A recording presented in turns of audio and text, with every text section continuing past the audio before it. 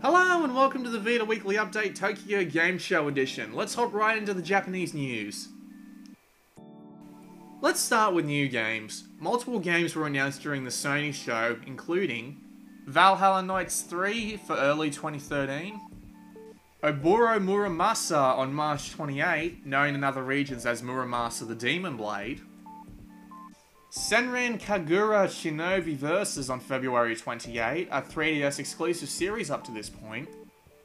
A new Gundam game based around plastic model Gundams. Toukiden, a new IP from the developers of Dynasty Warriors and Warriors Orochi. And Team Ninja detailed that Ninja Gaiden Sigma 2 Plus was coming to the Vita in early 2013. Soul Sacrifice was delayed to 2013 in Japan, which means it will be delayed further in other regions. However, a new trailer was shown off during the conference.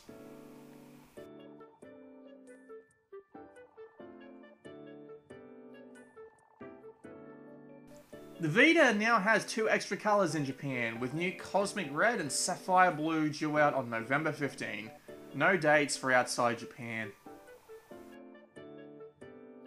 PS Plus has a solid November release window for the PlayStation Vita in all supported regions, with instant game collection, discounts, online storage for saves and DLC, automatic update and demo downloads, and trophy sync. A single subscription to the service will cover both PlayStation 3 and PlayStation Vita.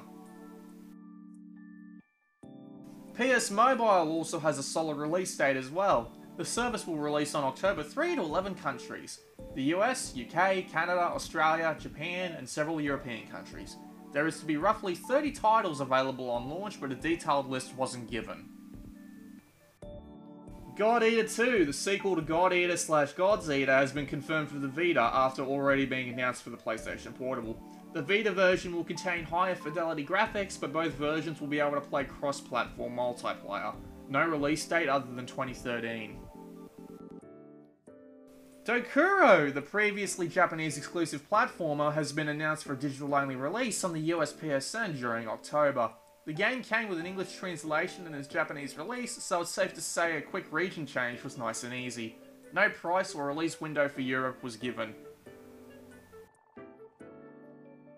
Little Big Planet's street date was lifted by Sony on the 14th of September in America, with GameStop breaking the street date as soon as they received stock.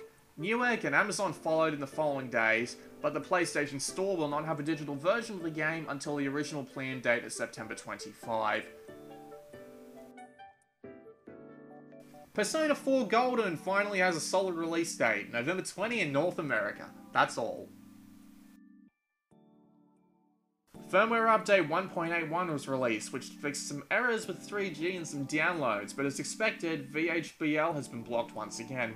The game required to run the exploit, Monster Hunter Freedom Unite, was never removed from the US store in a strange move from Sony, however the game did disappear from other regions.